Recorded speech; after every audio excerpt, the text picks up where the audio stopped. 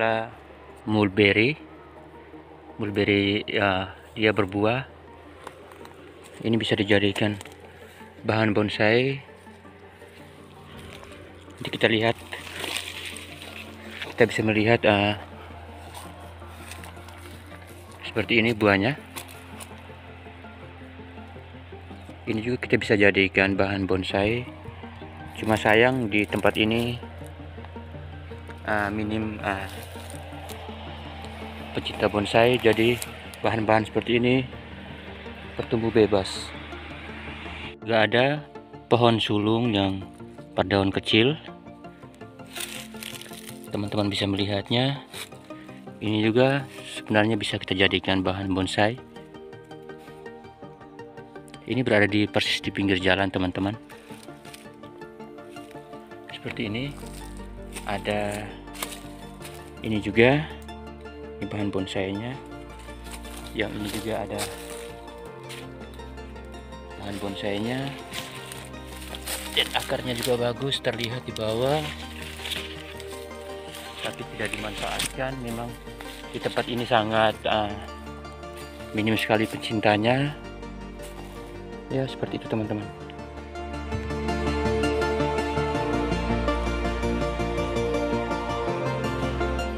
Teman-teman ini adalah sejenis pohon teh Filipina.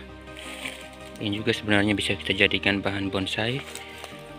Letaknya ini di ujung kampung dekat sekali.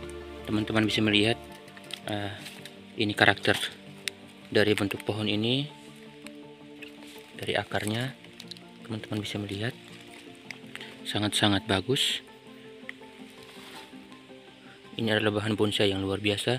Sisa teman-teman membentuk dari nah, tunas barunya jika akan digunakan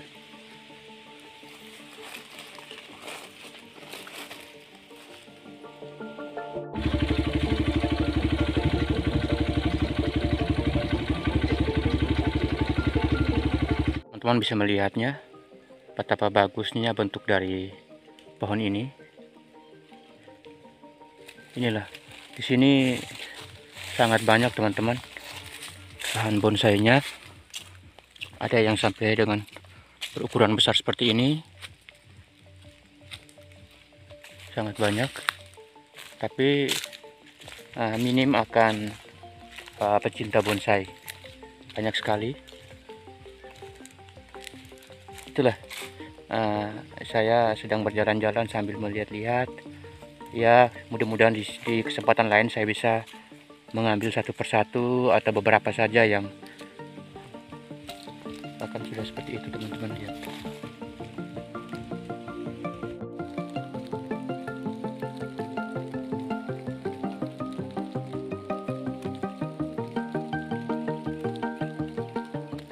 teman-teman bisa melihatnya juga ini sejenis uh, apa namanya lupa saya namanya. Dari karakter bentuk akarnya juga. Ini juga terletak di pinggir jalan teman-teman. Sangat-sangat bagus dari bentuknya ini. Akarnya semua. Karakter tuanya dapat teman-teman. Bagus sekali. Lagi di sini teman-teman ini. Ini juga sangat-sangat bagus.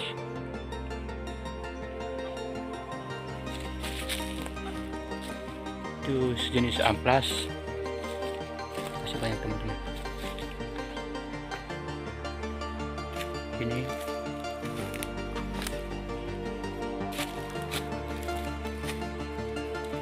Nah yang ini ada dua teman-teman. Yang ini ada dua